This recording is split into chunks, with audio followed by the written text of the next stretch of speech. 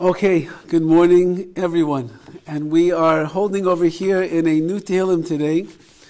It's number Nun Beis 52. And the Hagdam, the introduction to this Tehillim, which is very important to understand, is a Maisa, is an event which took place in Tanakh, in Sefer Shmuel. And we have learned throughout this uh, experience of Tehillim that David HaMelech had a father-in-law.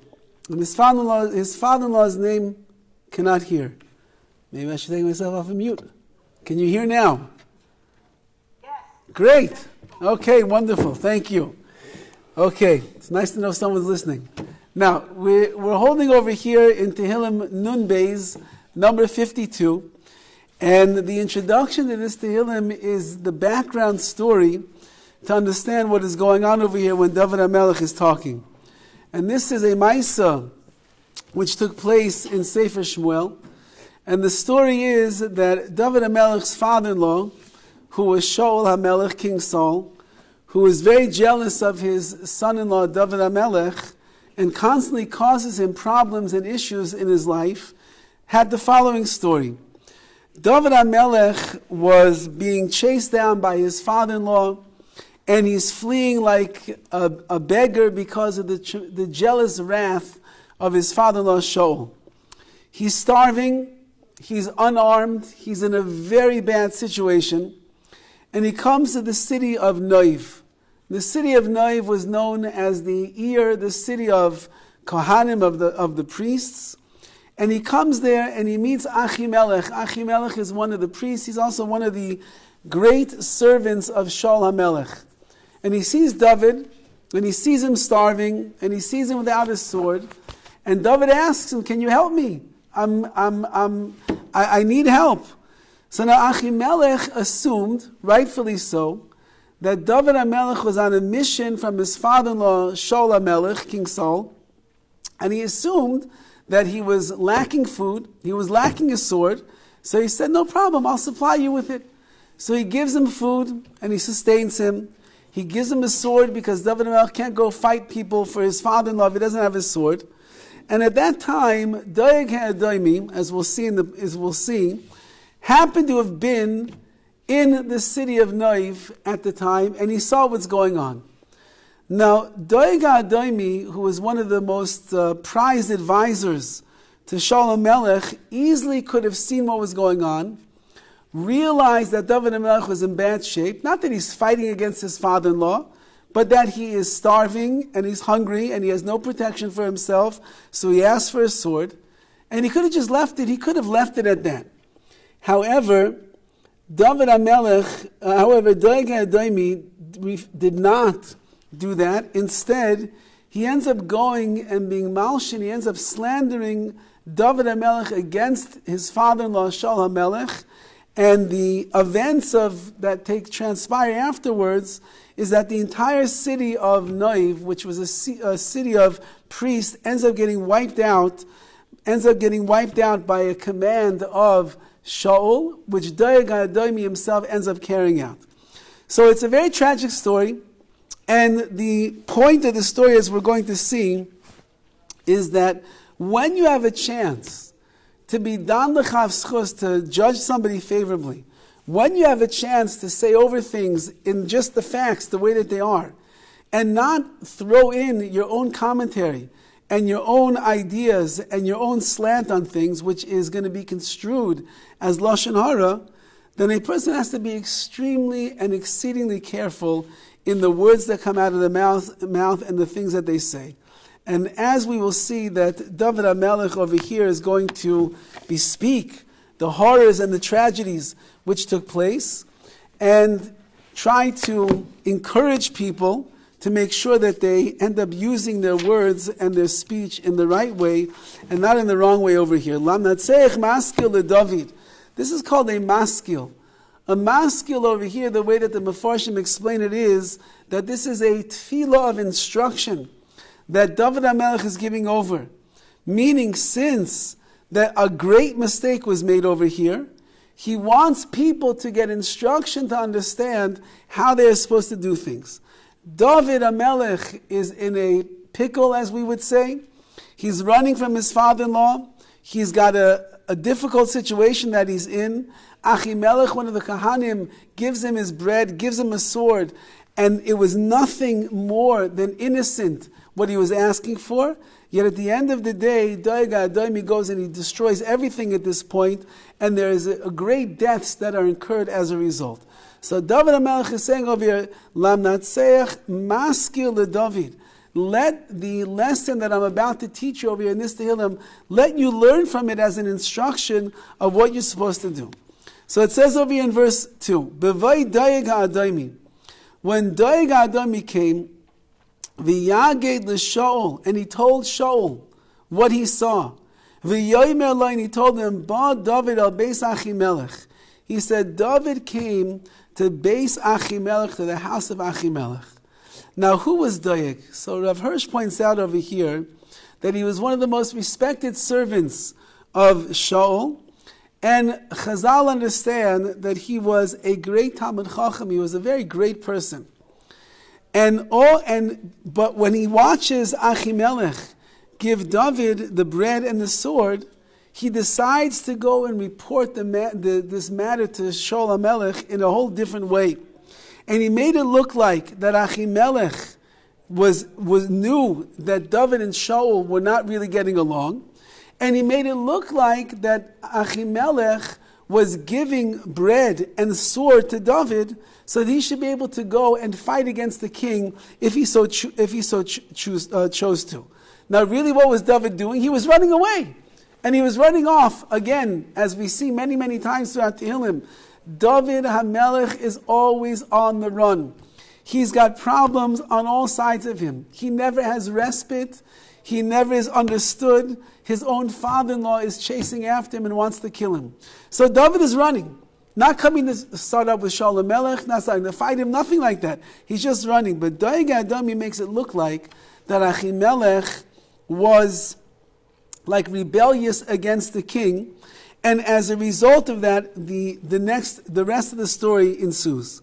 Matis Halil Bera Hagibor Chesed Kol He says, Why do you boast yourself of evil like you're a hero? Because you're telling the king what David is doing the, you should know that the chesed keel kol the tremendous loving kindness of HaKadosh Baruch Hu, that is what is going to endure all day long. Meaning, you are saying evil, you are saying Lashon Hara, you are slandering what is going on over here. However, you're going to try to intimidate people and do all these things, but you have to know that at the end of the day, Someone that relies upon, as we'll see, someone who relies upon the chesed of HaKadosh Baruch Hu, that chesed is going to last all day long. And therefore, the chesed of Hashem will outlive whatever vengeance you have. So Rav Gamliel Rabinovich writes over here the following.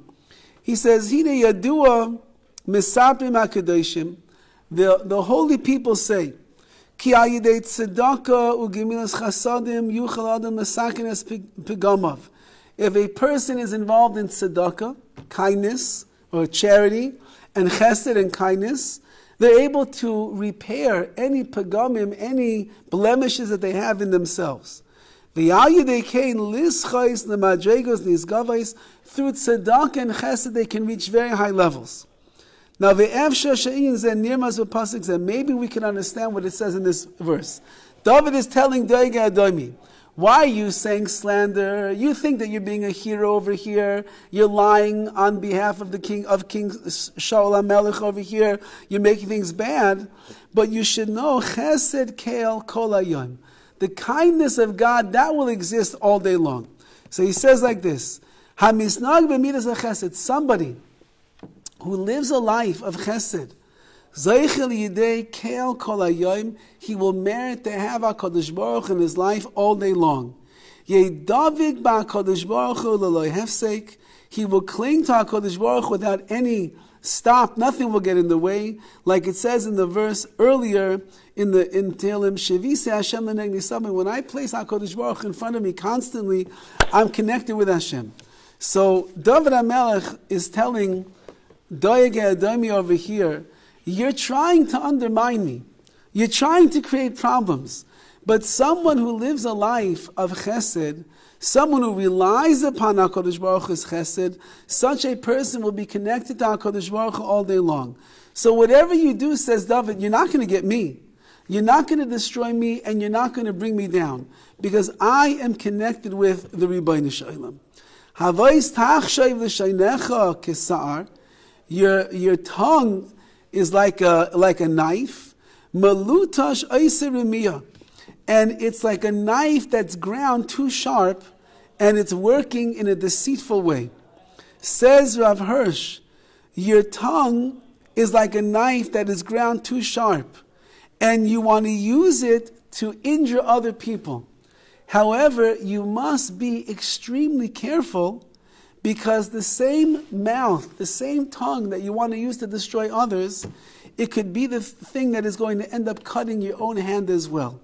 Meaning, you're trying to get me, says David HaMelech, but you're the one that's going to be get, that's going to be got in the end. As we know that a person who plans to do evil and tries to do evil at the end of the day, they are the ones that are only going to end up hurting themselves. And says David HaMelech, you're not going to have any bearing on me at all.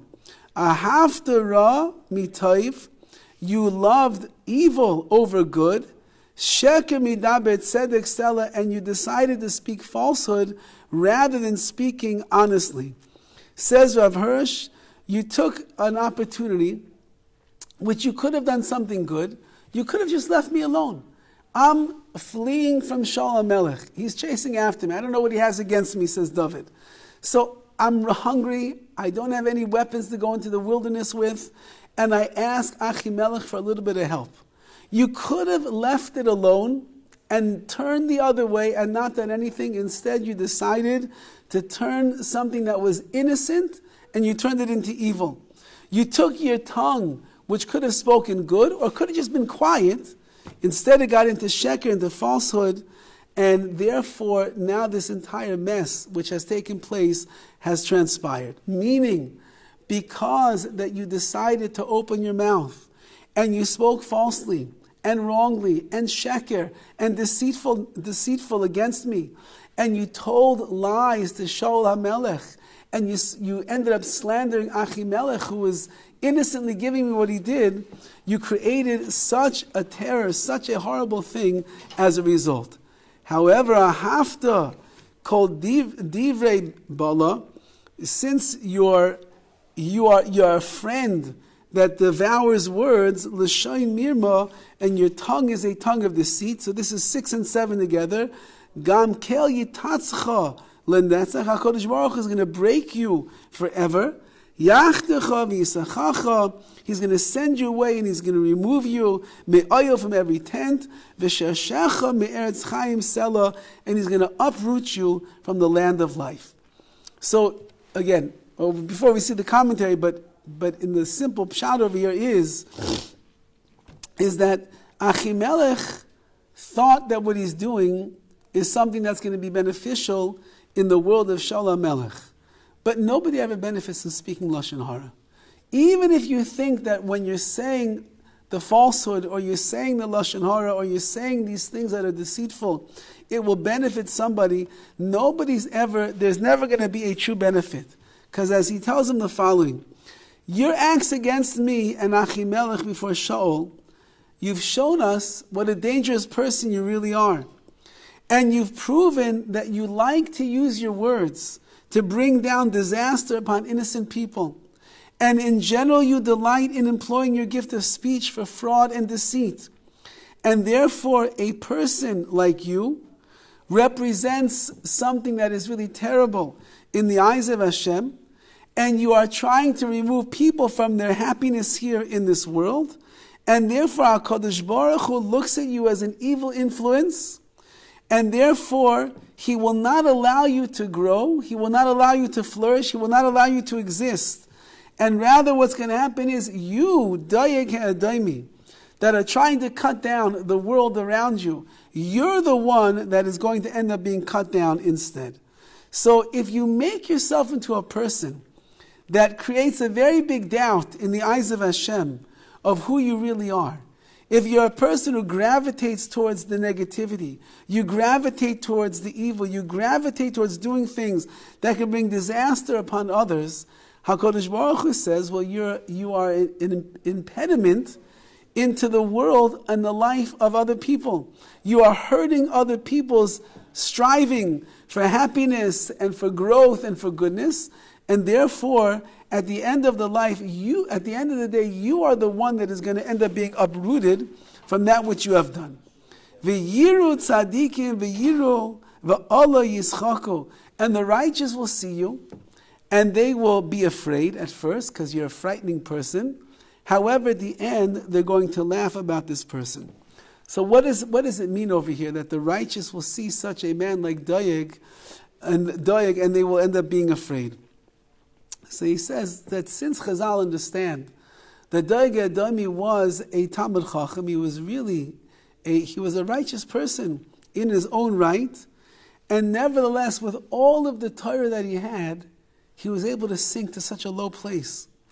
That means that nobody could ever really trust themselves no matter how great a person is, in the wrong place at the wrong time with the wrong ruach of shtus, of, of foolishness that blows into their head, with the wrong opportunities that are presented in front of them, anybody, no matter how great they are, could end up making a mistake. So the tzaddikim are not afraid of doige daimi. Not that they're afraid that he's going to do something to them, but they are afraid that as they watch his downfall and they watch his story unfold in front of their eyes, that means that just as he sunk to this low moral level and he went to a place that he should not have gone to, that means any man of tzidkus, of righteousness, it is quite possible that they could end up sinking to the same level as well. And therefore, all of the righteous take heed and warning over here, and they are concerned that maybe if we don't guard ourselves and watch ourselves, the same thing can happen to them. He says that tzaddikim will remember that just like the Torah cannot protect doige adoimi, the, but, but the reason that it did not protect him is because it shows that from his beginning, although that he was a Talmid Chacham, they understand that from the beginning he was a person that had evil and he was filled with arrogance and, and the like. So therefore, at the end of the pasuk it says that they will yischaku, they will laugh at him. Why are they laughing? Because the truth of the matter is, is that Torah really should protect a person. If a person learns and a person is sincere and a person in, imbibes the Torah, they, the Torah envelops them, so then the Torah should have the koyach, the ability to be a magen, to be a shield that is going to protect them from making major mistakes in their life. However, if a person is arrogant, if a person has the seeds of evil that are in them, and even with all the Torah, they find themselves still misbehaving, so then the Torah is not going to protect them. So the tzaddikim, on one hand, are frightful and their fear is that just like Daige Adami made a mistake, we could also make a mistake. But then they realize what was the downfall of Daig? The arrogance that got in the way of the Torah being able to protect him is what ended up hurting him. So therefore, any person who is a tzaddik, any person that is filled with the ruach, the spirit of Torah, as long as the humility is there in its place and they are not too overconfident of themselves, then in fact the Torah itself will be a shield that will be able to protect them from making major mistakes in their life. He says, Behold, that this man did not let Hashem be the source of his strength. Rather, he trusted in his wealth. He let him be strong by the means of what he has devised. What does that mean? Says, says, um, says Rav Hirsch over here, this, uh, uh, again, based on these last ideas that we said, that if, if you're a Torah scholar, so then you have to realize that you're getting your strength from the source of the Torah itself. the source of the Torah itself is HaKadosh Baruch Hu. A person who learns Torah is supposed to be a humble human being because the more that one learns, the more one realizes they don't know anything. The more that one probes the depths, the depths of the wisdom of HaKadosh Baruch Hu, the more they realize how much there is really out there. Someone who learns Torah in that way and keeps Torah in that way, they are supposed to realize that the source of all of their strength is the Ribono Shel Olam. Daimi, instead of trusting in Hashem, he trusted in himself. He trusted in his wealth, he trusted in his smarts, he trusted in his brains, and he did not humble himself and submit himself before HaKadosh Baruch Hu. As a result of that, therein lies the downfall that he ended up falling into because the Torah cannot protect such a person. Many times people will be engaged in Torah study, they will be engaged in shiurim, in classes, they will hear things and they will see things and they will understand things, but they will tell you that, I don't know, the Torah just doesn't talk to me. I don't get it, I don't understand it, it's not changing my life. And the reason that the Torah doesn't change the life of a person is because a person is not willing to change their life. If a person would be willing to accept the sovereignty of HaKadosh Baruch Hu, and they're willing to accept the greatness and the kedusha of the Torah, then it's obvious that the Torah is going to have an impact and change their life. We just had over over Pesach break many boys that came back from yeshiva, these boys were wandering the streets of Tarzana not many years ago. These are boys that you'd find them, you know, sitting in shul if they came to shul on their iPhones doing who knows what. And today they're sitting and they were learning hours and hours on end. They were smiling, they were pure, they were shining like a light. What happened to them? What happened to them was is that they embraced the Torah and they realized that the Torah could change their life. And they realized that yeshiva could change their life, and the rebbeim could change their life, and being submissive and being humble before HaKadosh Baruch Hu will change their life. And it ends up opening them up to a whole new world of Torah. On the other hand, you could have people who rely upon themselves, and they detach from Torah, they detach from HaKadosh Baruch Hu, they detach from the emes of this world, and then they're all on their own. And once that a person goes on their own, HaKadosh Baruch Hu says, that's it, you don't want me? So fine, so you're on your own. You don't have my protection. You don't have my bracha. You don't have my siyata de shemaya. You don't have my care. You don't have my concern. It's not the same anymore. And therefore, Dayaga Daimi was the one who ended up relying upon himself and his strength and his riches and everything else. Instead of HaKadosh Baruch ah, you learn and you learn and you learn and you learn, but what's it worth? It's, all, it's almost says David HaMelech, is almost worthless in the eyes of Hashem. But for me, says David, Kizayis Ra'anan, I am like this evergreen olive bebeis Elokim in the house of Elokim. What's a green olive? A green olive is an olive that's ripened all the time doesn't wither, it doesn't shrivel, it doesn't turn brown. It's like a ripened olive. and olive is always the sign of the chachma, the wisdom, because olive, the oil that was put into the menorah in the Beis Hamikdash, that's the sign of the wisdom of Torah. David HaMelech says, I'm not like you. I am like a, an olive that is constantly ra'anan, that's constantly green and ripened. And because of what? Because betachdi, because I trust in the Ribono Shel I trust in HaKadosh Baruch Hu's mercy constantly, not like you. Because of my connection to Torah, because of my connection to HaKadosh Baruch Hu, because of my connection to Ruchnius, therefore I'm sitting in the house of, the, of Hashem all of the time. I might not, as Rav Hirsch points out over here, I might not have any place to go in this world because I'm always on the run. I'm being chased down every single day of my life. And now I've got my father-in-law chasing me once again, and you, me, you're chasing after me because you're trying to, to say that I did something that I didn't do.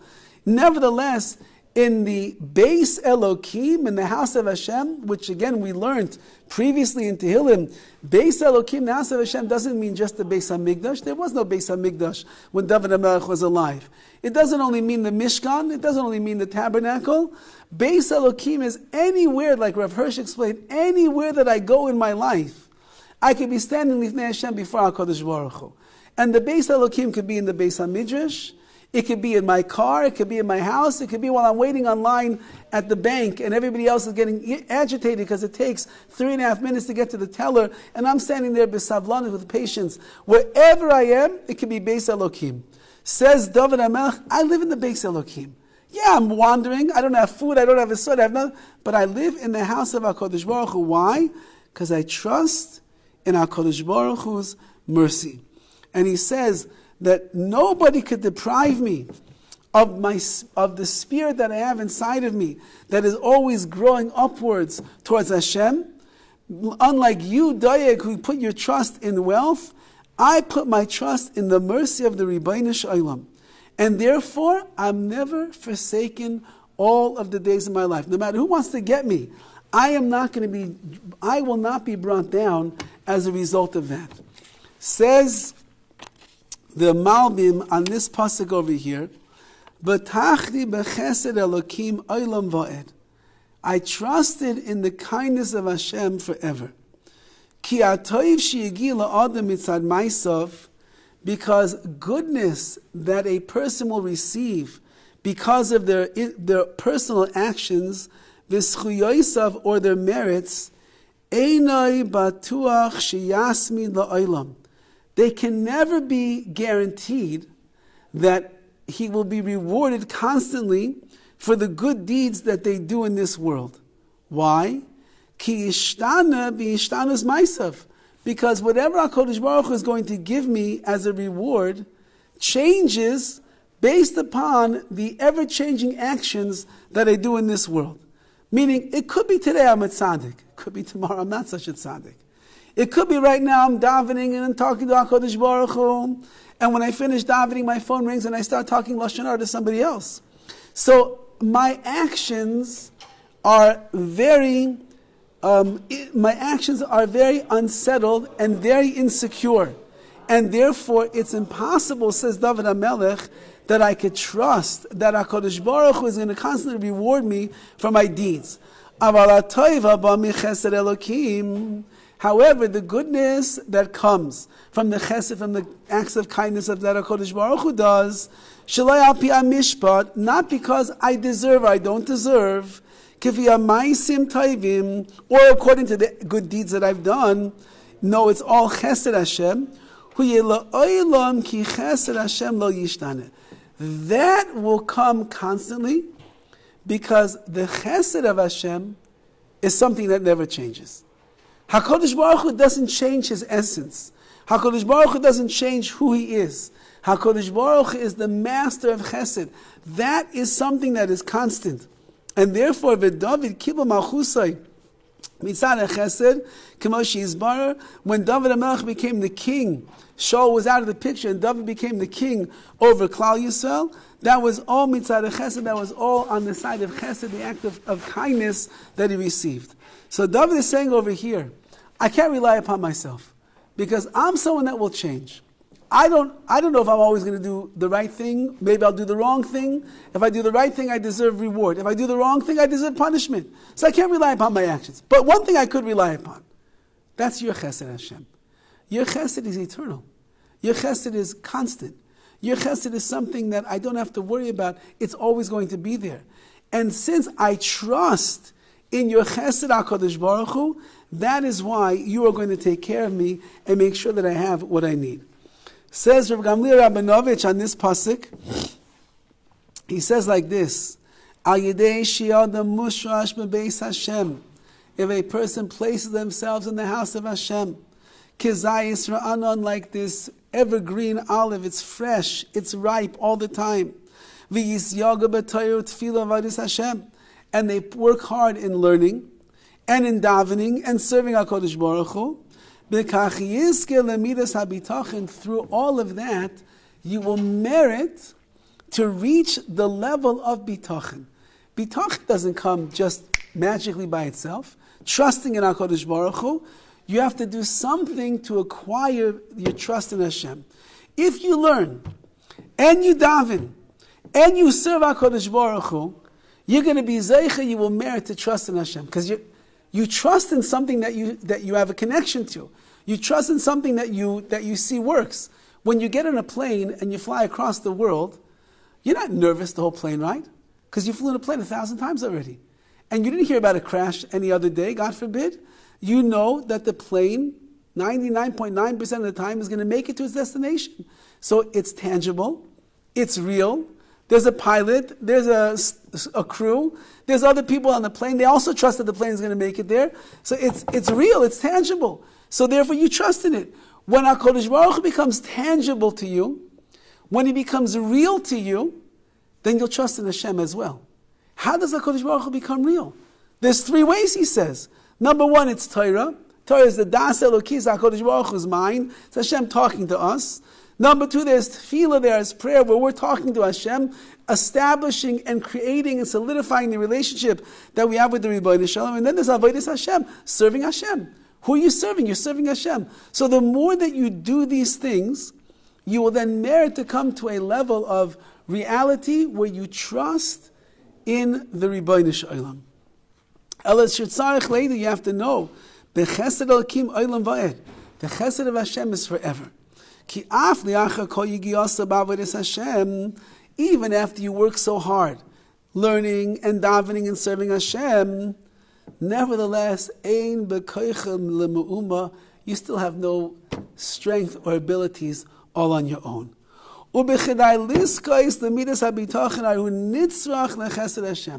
Even after all your hard work, you're establishing the relationship that you have with HaKadosh Baruch is becoming more and more real more and more tangible in your eyes. Nevertheless, if HaKadosh Baruch Hu's chesed would not be upon you, meaning HaKadosh Baruch Hu would not help you reach that level of bitachon where you can trust in Him, it would never happen by itself. And through the hard work, you worked hard, you have to do your shtadlis, your effort down here, but nevertheless, the effort is only the effort that we do. Whether or not you're going to reach the level of really trusting in HaKadosh Baruch or not, you still need Hashem to send it your way. So we try, we make efforts, we do the best that we possibly can. We learn, we daven, we serve HaKadosh Baruch Hu, we get involved in chasadim, we talk about Hashem, all the things. But if it's going to click in your mind that there's a master of the world that's watching over us, and he's involved with everything that we do and he cares about us and he loves and he wants only what's best for us and he would never do bad and chule v'chule, so on and so forth. All of these ideas and ideals and hashkafa that we're living with, in order for it to click in in the right way, you need HaKadosh Baruch Hu's chesed. You need his kindness to be able to establish that within. And he quotes over here from the Mesilas Yesharim, from the path of the just, that towards the very end of the Sefer, he gets into the midah of Kedusha, of holiness. Very apropos, we had this last week's Parsha, Kedoshim Tihyu. I'm not sure that anybody knows anymore what Kedusha is in our lifetime. For the tzaddikim, they understand. But Kedusha is a high, high level that the Ramchal speaks about of how a person is detaching themselves from the physical world and clinging more and more and more to Hashem. But he writes a fascinating thing. It's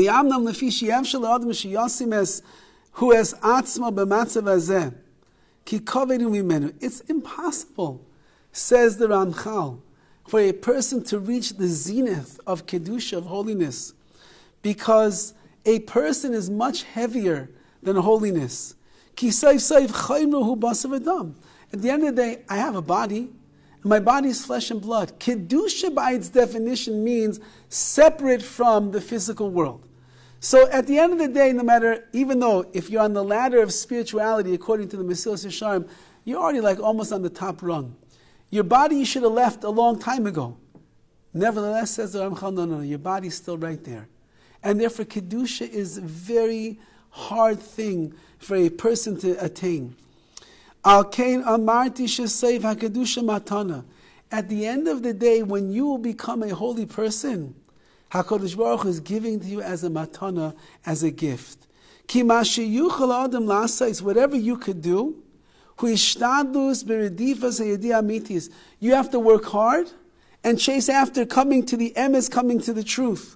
And you have to work to try to understand the kedusha, the holiness in your actions and the like. But at the end of the day, says the Ramchal,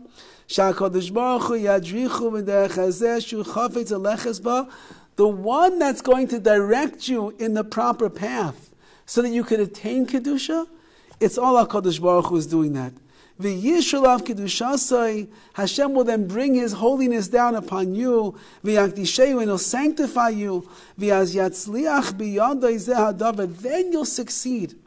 Sheyuchal, when you reach the level of holiness, you can cling to HaKadosh Baruch Hu constantly. Because even though your physical nature will hold you back from being able to accomplish that, Hashem is going to help you. And He's going to bring you along. Like it says in Tehillim, those that go in the path of purity, Hashem will not hold back His goodness from you. So says the Mesilas Yesharim, and this is what we're saying over here as well. That yes, we try, and yes, we, we learn, and we daven, and we serve our HaKadosh Baruch Hu. And yes, we try to stay fresh, and we try to reach all these high levels. But at the end of the day, it's a matan, it's a gift that HaKadosh Baruch Hu gives us. When you reach a level of bitachon in your life where you really feel the presence of Hashem, and you're willing to go out on a limb for HaKadosh Baruch Hu and do things that maybe a week ago, a year ago, two years ago, you'd never do such a thing. But you reach the level now, there's a, a comfort zone that you are together with HaKadosh Baruch Where did you get that from? You worked hard? Yes. But at the end of the day, even with all the hard work, Hashem is the one that's giving you that relationship as a matana, as a gift. Remember, Hashem is the master of the universe. He's coming down through billions of worlds to get down over here to create and forge the relationship together with us. Who, who does, who makes more? We do all of our effort, but HaKadosh Baruch is the one that brings it home. And then it says over here in the final verse, I will thank you forever. Ki asisa for what you have done, Hashem. V'kave shimcha. I hope and I wait for your name, ki toiv neged chasidecha, because it is good for you, for those that are chasidecha, the pious and devoted ones. And he says like this, and this is the classic pasuk of Tehillim that we've seen from David HaMelech, because he says it again and again and again. And that is, I'm sure that the present affliction that I'm going to, going through right now, which again, running from my father in law, out in the wilderness, no food, no weapons. I'm once again misunderstood, and I have people chasing down after me. I have no rest, nothing. However, I know HaKadosh Baruch that whatever you do, it's all for the best. And you don't make any mistakes. And if I'm going through this once again, it's for my own good. And therefore I will have I will yet have cause to thank you forever for having stricken me with it. Meaning I appreciate the challenges that you are putting me through HaKadosh Baruch Hu. I appreciate the hardship that I am in. I appreciate that my father-in-law hates my guts and he wants to kill me and destroy me. I appreciated that uh, that Doeg Doimi did this this misjustice over here, and it, it brought about horrific results as a result. Why? Because I know that everything that you have stricken me with is only for my benefit. And therefore, even as your name, which is here, it's, it's the name of Hashem, which is the Midas Harachamim, it's the Midah of mercy. It is, it is you, HaKadosh Baruch who is good forever. I trust that I will see it prove itself as such to me and to all of those who dedicate themselves to you in selfless love. Meaning, I have no doubt that what you have done for me is exactly what it is that I need. I have no doubt that what you are doing in my life, as painful as it might be and as uncertain as I am, I know that you would never do something that is bad for me. And therefore, I will praise you forever, which means even right now, while I'm going through it. Man, David HaMelech is constantly on the run, and he's always singing to HaKadosh Baruch Hu. Praises and songs and Tehillim to the Ribono Shel Olam. Why? Because I know that this is all part of the process that I need to go to in order to be able to reach a greater level in my impersonal Avodah Hashem. There's a, a, question that the Sefer HaChinuch asks, or the unspoken question that he asked on last week's Parsha, Parsha's Kedoshim. There's a slew of mitzvahs which are very hard for the emotional person to understand. It says one mitzvah, you cannot hate your brother in your heart. Then it says, um, uh, you cannot take revenge against someone who wronged you. You can't bear a grudge against somebody who did wrong to you. And the Sefer Chinuch really is dealing with, well, how can you command a person to not hate another Jew in their hearts if this other Jew did destructive things to me? He embarrassed me in public. He shamed me. He stole $100,000 out of my account. He, he ruined this one. He ruined. How can I not hate that person?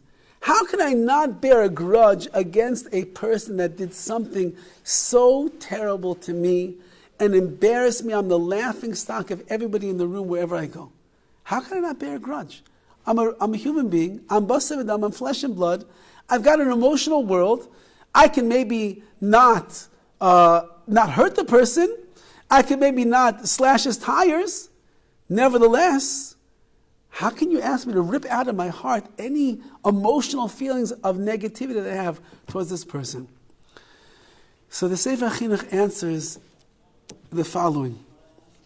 And he says, We're maminim, we believe in Hashem, correct? And, and part of our belief is that HaKadosh Baruch Hu never bring that that uh, part of our belief is that nobody is allowed to do anything to us in our lives unless Hakadosh Baruch Hu has decreed that such a thing should happen. There is no one that will do good for us unless Hakadosh Baruch Hu has decreed we deserve that good. And there's no one that will do bad to us unless HaKadosh Baruch Hu has decreed that that bad is supposed to happen. Says the Sefer Chinuch, why would HaKadosh Baruch Hu want bad to happen to a person? So he says, don't point the finger at others. Rather, we know the world exists in a realm of midah keneged midah, measure for measure. And therefore, if I have done something wrong between me, maybe others, or between me and HaKadosh Baruch Hu, I have sinned. HaKadosh Baruch Hu must bring me a kapara, an atonement for the sin that I have committed. Either he's going to wait till the world to come where it's going to get pretty hot down there, or he's going to bring the atonement here in this world. And therefore, sometimes HaKadosh Baruch Hu will allow, or he will send a messenger in the guise of a human being to be the person that's going to bring about the atonement in my life. So if somebody does wrong to me, somebody does bad to me, says the Sefer Chinuch, don't get angry at him. You should examine yourself and see what is it that I have done wrong that I deserve that this catastrophe or this difficulty or this tsar, this pain has come my way. So instead of taking it out on the person, hating them in your heart, taking revenge, bearing a grudge against them, no, no, no, no. Chazal tell us if a person sees Yisur and Baal love, they see things that are coming upon them that are suffering or difficulty, Mefashvesh b'maisav, examine your deeds. And the truth of the matter is, a person will not have to look very far in their actions and their deeds to find something that they have done wrong, probably from the time that they woke up until right now, that they deserve some kind of an atonement and they need something in this world. And therefore, David HaMelech is saying a similar idea over here. And that is, if I'm on the run and I'm being chased, and I'm having a hard life. So then I know the reason is not because, uh, not because I'm undeserved and there's mean people in the world, but rather, HaKadosh Baruch Hu, everything that's happening in my life is coming from you. And you want this because this is the best thing in my life. Because ultimately, at the end of the day, it's only going to cleanse me and bring me closer. And a person who thinks like that doesn't get angry, doesn't despair, doesn't get despondent, doesn't worry, doesn't get frustrated with the things that are going on in his life. On the other hand, he looks at everything as an opportunity that HaKadosh Baruch is sending me in order to purify, sanctify, cleanse myself of the misdeeds and the mistakes that I have made, and ultimately bring me closer to Hashem. So it's not a punishment, actually a chesed that HaKadosh Baruch Hu does. When HaKadosh Baruch Hu brings challenges into a person's life, it's all because HaKadosh Baruch Hu loves us and He cares about us and He's being mischasted. He's doing kindness. That's because He wants us to be able to, to get closer to Him as well. So it means that if a person wants to succeed in understanding the messages that HaKadosh Baruch Hu is sending us on daily basis, we need to learn, learn how to reframe the picture that we are seeing. Not to see things as negative, which is the natural way in which a person looks at things, but rather a person needs to look at things in a different light, with a different set of glasses, with a different view. Because if I look at it in the right way and not the wrong way, I won't hate another person in my heart. I won't want to take revenge. I won't bear this grudge for years and years and years and years what they did because I'll realize everything that was sent to me was sent by the Ribono Shel for a reason and a purpose, and I am to use that reason and purpose to grow in this world as well. I want to leave you off with a story. It's not specifically about this, but it's the idea of reframing the way that we look at the events that are taking place in our life. About uh, 20, no, 30 years ago, Rav Zelig Pliskin, one of the, one of the main Rebbeim in the Aish HaTorah in Eretz Yisrael, he wrote a sefer called Gateway to Happiness. And in that book, he goes through from beginning to, to end how a person can find a pathway to joy, to simcha in their life. It's a very wonderful book. Many people's lives have been changed as a result of this book because they realize that you could just keep reframing the situation and instead of letting yourself get drawn down, you'll end up seeing the joy that is there. So in 1987, after the book had become very popular in the Jewish world, HaTorah decided that they're going to make like a simcha training course one day, and they're going to try to, to gather as many, many Jews as they possibly could in Jerusalem to come and learn from the master of happiness himself, Rabbi Pliskin, how to be a happier person. And they advertised for weeks on end and they sent out, I don't know, emails back then, whatever. But they were posting flyers and sending out mail. And their goal was that all the, the Jews that were living in, uh, that, were, that were either living in the Jewish Americans, the English speakers living in Israel, or the ones that were traveling through Israel, that they should come to this seminar on Simcha. And sure enough, they did a very good job advertising and they were, they were, they were um, led to the King David Hotel, which is a very nice hotel, and they were there, standing room only crowd, to be able to be able to learn what it was to be a happy person. And Rabbi Pliskin gave over amazing, amazing lecture, amazing shiur, and he himself is the he's like the poster boy for Simcha because he's always smiling, he radiates joy, he's shining like a light, and everybody was very inspired. He told anecdotes, he told stories, he brought rides, all different things, fine. At the end of the shiur, his favorite part of the class is when he opens up the floor for comments and for questions, he likes to hear what other people have to say. So he says, over at this point, he says, Now that I finished my part, now it's time for your part. If anybody has any questions, any comments that they like to share, please, the floor is all yours. Before he even finishes speaking, there's a man raising his hand.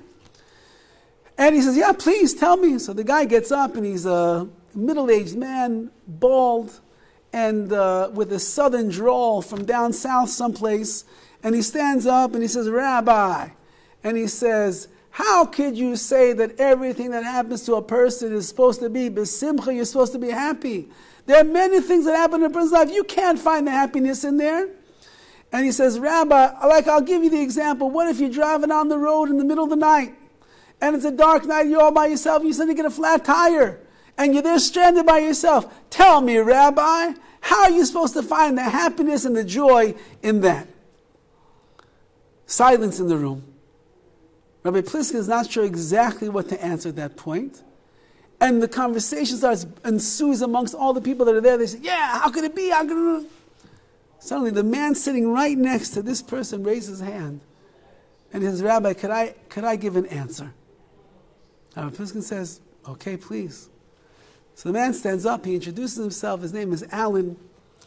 And he says, Several years ago, I was in very, very bad physical shape and health. I went to the doctor. I was having a hard time breathing. My heart wasn't beating as well as it could have. I kept getting sick on and off. The doctor ran his test. He looked at me and he says, Alan, you are a time bomb that is waiting to explode. And if you don't change your way of life today, I'm sorry to tell you, but I don't think you're going to be around next year.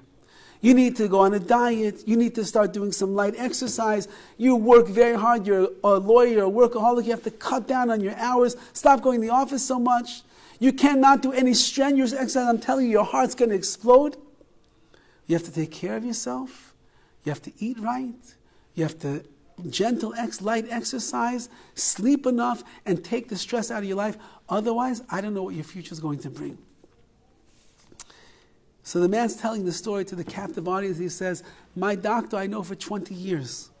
He's not a man that exaggerates ever. And if he said that that's where I was holding in my life, I got very nervous. And so following the doctor's instructions, I listened to everything that he said, and for the next year, I worked on my diet. I worked on the stress. I worked on the sleeping. I didn't go to work as much as I used to. I was doing light calisthenics and exercise to make sure that my heart was pumping the right way, and I didn't do anything strenuous that could hurt myself. the end of a year, I come back to the doctor. And when he walks into the room and he sees me 60 pounds lighter, energy, looking good, he didn't even recognize me. He said, Alan, you did it. You did it. Unbelievable. He runs all the blood tests, the EKG, everything. And lo and behold, I'd he- I was healed. Healthy as could be. And he told me, the doctor said, I'm happy to tell you, Alan, you can go back to living your life much more normal than you, than you have the last year.